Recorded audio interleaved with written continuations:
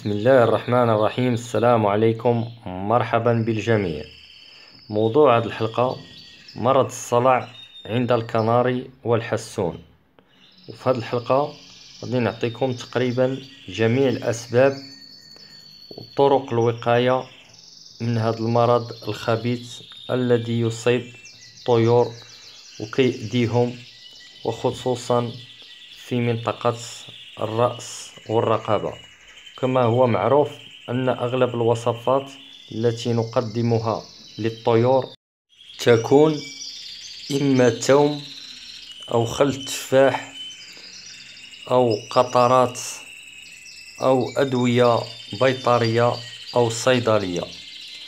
لكن كي أكون معكم أكثر مصداقية فهذه العلاجات تبقى سطحية فقط لا غير. ولها دور ضعيف في العلاج. لماذا؟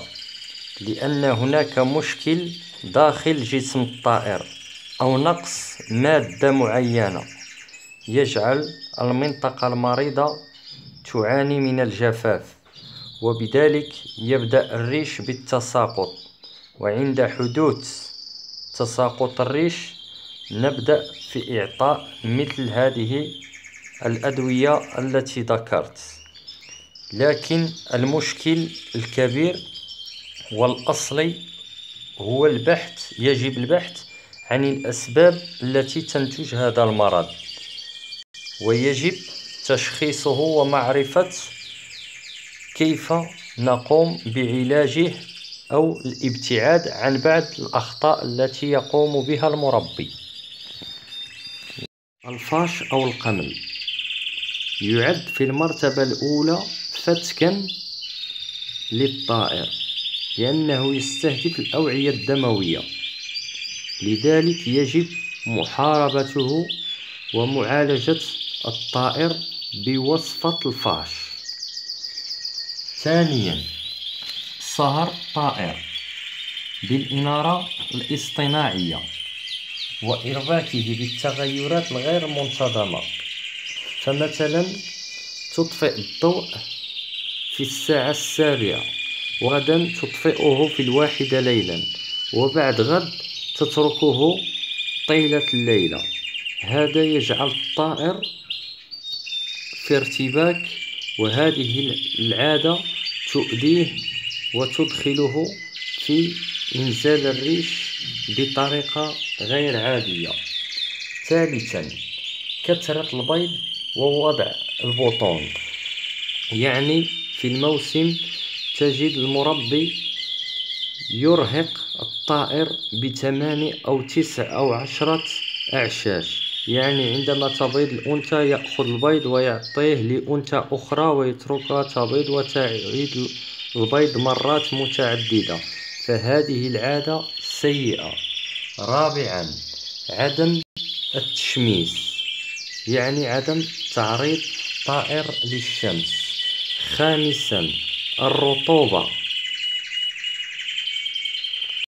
فالرطوبة كذلك تؤثر على الطائر فبعض الأشخاص تجدهم يضعون الطيور لشهور داخل علب خشبية أو بلاستيكية أو ميكات بلاستيكية فهذا يؤثر على الطائر. سادسا الاستحمام. تجد بعض الأشخاص يتركون الطائر بدون استحمام لشهور وشهور فهذا كذلك يؤثر على صحة الطائر.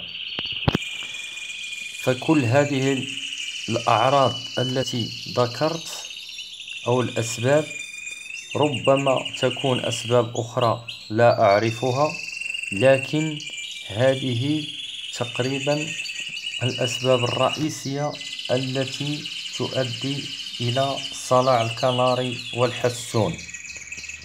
فبالنسبة لي الحل والعلاج بين يديك. يجب الامتناع والابتعاد عن هذه العادات وسيرجع الطائر إلى حالته الطبيعية. أما بالنسبة لهذه المعلومات فقد استشرت أكثر من تسع أطباء بيطريين وأكدوا لي صحة المعلومة. لهذا يجب على كل شخص تعاني طيوره من مرض الصلع أن يأخذ بعين الاعتبار هذه الأسباب التي تؤدي إلى هذا المرض. فموضوع هذه الحلقة اشتغلت عليه لمدة شهر ونصف. أبحث عن المعلومات وأستشير الأطباء البيطريين كي أقدم معلومات صريحة ومعقولة. والسلام عليكم.